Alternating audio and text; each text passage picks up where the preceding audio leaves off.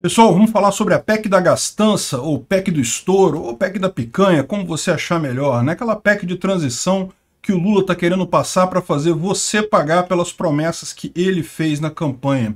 Essa notícia foi sugerida por dois estados em uma moto, The Libertarian e várias outras pessoas. Obrigado aí ao pessoal que sugeriu a notícia, obrigado a você que está assistindo o nosso vídeo. Se você gosta do nosso conteúdo, por favor, deixe o seu like, se inscreva aqui no canal, né? Pois bem, o tempo está acabando. Como diz o Lira aqui, a tal da PEC do fura-teto, né? a PEC que o Lula quer ampliar o gasto que ele pode ter no que vem. A gente sabe, ele diz que é para pagar o Bolsa Família ou o Auxílio Brasil, ou o que quer que seja, mas a gente sabe que é, na verdade, para dar dinheiro para os países amigos dele aqui no entorno. Né? Ele quer ajudar o socialismo na América do Sul através do seu dinheiro. Tirar de você para dar para os amiguinhos dele. Né? Isso aí a gente já sabe que é assim. Só que o que está acontecendo? Felizmente, do meu ponto de vista, o Congresso está sendo resistente a essa história. O que está acontecendo aqui? Uh, o Lira lembrou ao pessoal que faltam 17 dias para a tramitação dessa tese, porque, porque o recesso parlamentar começa no dia 23 de dezembro. Então, de agora até o dia 23 de dezembro, tem 17 dias em que a Câmara e o Senado vão se reunir, que vai haver atividade parlamentar. É lógico, a gente sabe que eles costumam dar um jeito, né? eles costumam, é, conforme for, se for preciso, fazer uma, uma sessão no, no, na sexta-feira ou na segunda-feira, quando normalmente não tem sessão. Mas o fato aqui que o, que o Arthur Lira está lembrando é que falta muito pouco tempo, né? Se for para aprovar, porque, lembra, esse tipo de PEC tem que ser aprovada duas vezes no Senado, duas vezes na Câmara. Eles conseguem até fazer as duas votações sem impor um espaço mas ainda assim tem toda a parte de convencimento e coisa e tal. Então, assim, reunir a quantidade de deputados suficientes em plenário para votar a tal PEC, então não é uma coisa tranquila de se fazer, né? E com 17 dias só sobrando entre agora e o recesso, existe o risco dessa PEC simplesmente não passar. E se essa PEC não passar até o dia é, 23 de dezembro, em tese o orçamento vai ter que ser o orçamento atual e, portanto, ano que vem não se pode dar o aumento para o Auxílio Brasil. O Auxílio Brasil voltaria ao, ao valor anterior dele de 400 reais, né? E o que, qual que é o problema aqui? O problema, como eu expliquei, é que o PT insiste em uma PEC que dá dinheiro à vontade para ele, que dá 200 milhões de reais, de, 200 bilhões de reais para ele gastar à vontade, né? Para incluir o Bolsa Família, isso daí, mais um monte de coisa, Universidade Federal e não sei o que lá, e não sei mais o que.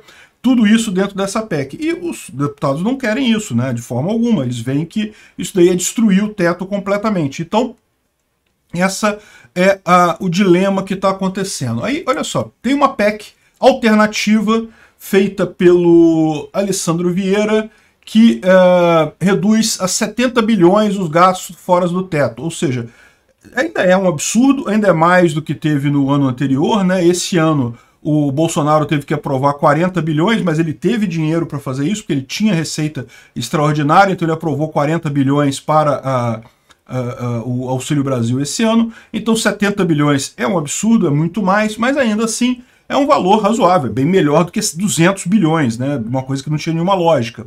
E o que o Alessandro Vieira fala aqui é que, bom, isso daqui com 70 bilhões você paga o Bolsa Família de 600 reais ainda pode conceder o adicional de 150 reais para as mães com filhos até 6 anos, conforme o Lula tinha prometido, e pronto, e fecha-se isso. E isso daqui seria para o ano que vem. E aí, depois disso, ano que vem, o Lula faz a negociação que ele quiser lá para o orçamento do ano seguinte. Eu acho ideal isso, porque esse negócio de ficar dando aumento eterno agora, não, não é justo. O Lula, ano que vem, vai ter outro Congresso, vai ter outro Senado, ele que decide ano que vem, com os deputados do ano que vem, é, o orçamento dos próximos anos. Cabe a este ano agora, a essa legislatura, definir o orçamento do ano que vem apenas, né? Então, essa, essa alternativa aqui do... Uh, do Alessandro Vieira me parece bastante razoável. Então é uma alternativa à PEC do, uh, do PT, que é de 200 bilhões. Né? Outro que deu alternativa também foi o Tasso, que apresentou à equipe uma alternativa com ampliação de 80 bilhões no teto a partir de 2023. Então, ao contrário do que está dizendo aqui, ó, que seria só em 2023, não. Essa PEC do Tasso Gereissati, ela permite, uma, ela eleva em 80 bilhões de forma permanente o limite de teto de gastos. Né? Como é que ele faz isso? É porque o limite do teto de gastos ele é calculado com uma série de fatores, né? E aí um desses fatores é a âncora cambial, e daí ele mexeria nesse cálculo da âncora cambial, isso daria uma folga adicional de 80 bilhões. Isso daria ano que vem para o Lula pagar o, o, Bolsa Família, mais um monte de coisa, e é, só que isso ficaria permanente, ou seja, esse aumento de 80 bilhões seria permanente. Ou seja, ao longo do governo Lula, seriam 240 bilhões de reais a mais gastos durante todo o governo Lula, os quatro anos do governo Lula. Né? Se o Lula ficar esse tempo todo, eu espero que não fique.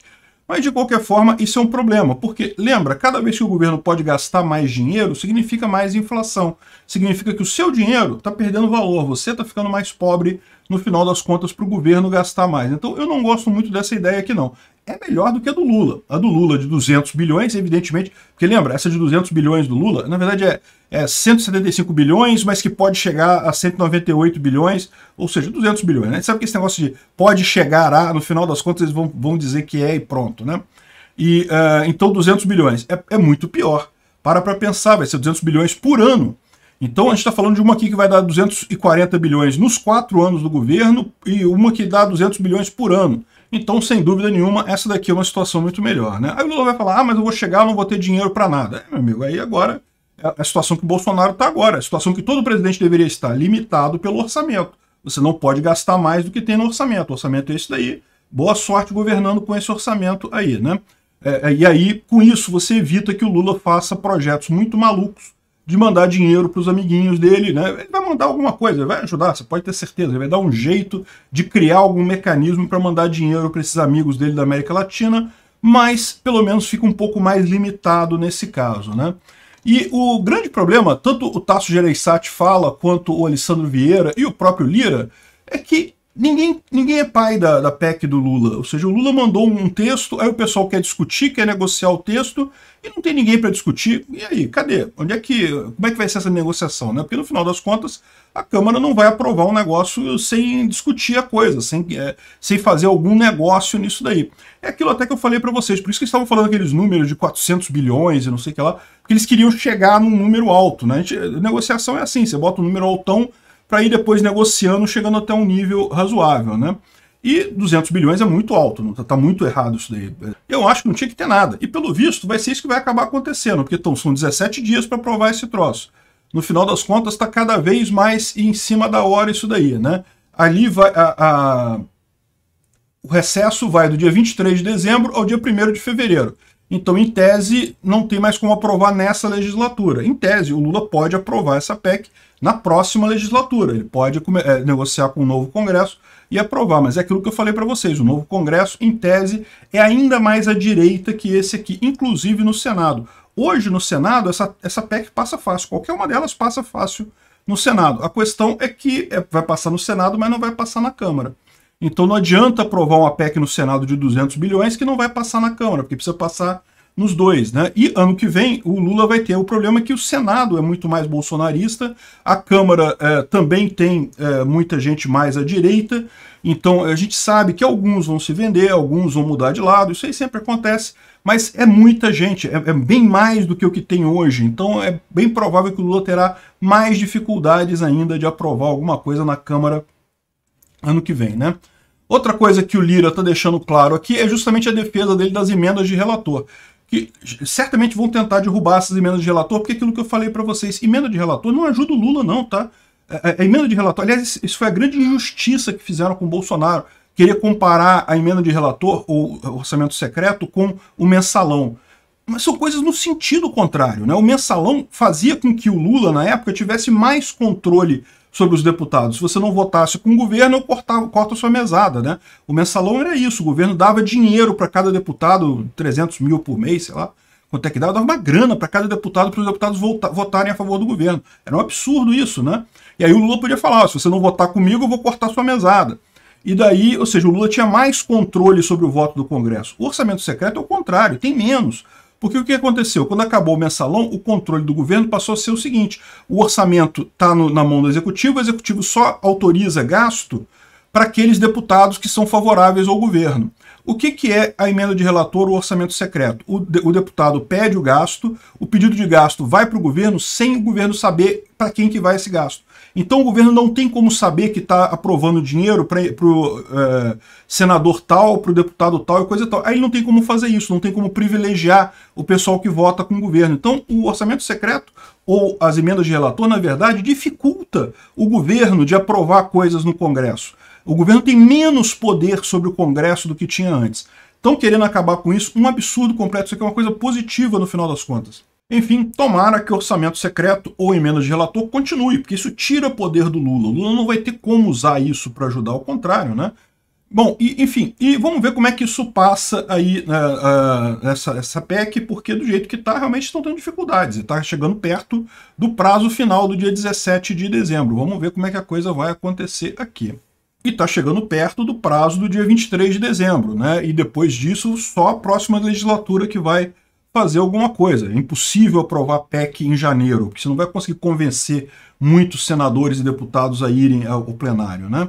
Enfim, vamos ver. Assim, eu acho positivo de qualquer jeito, porque mostra aquilo que eu falei para vocês. Se esse Congresso já está dificultando a vida do Lula, o próximo vai dificultar ainda mais. O Lula está fudido nesse governo dele. Obrigado por assistir o vídeo até o final. Além de curtir, compartilhar e se inscrever no canal, considere se tornar patrocinador com valores a partir de R$ 1,99. Clique no botão Seja Membro abaixo para saber as condições e vantagens de patrocinar o canal. Mais informações sobre o nosso projeto, visite nossos sites indicados na tela.